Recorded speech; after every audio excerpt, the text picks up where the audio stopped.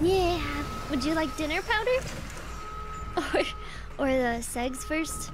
Hmm.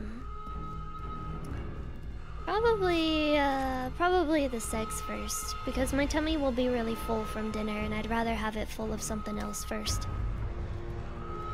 Because it takes a while for your tummy to stop being full from dinner.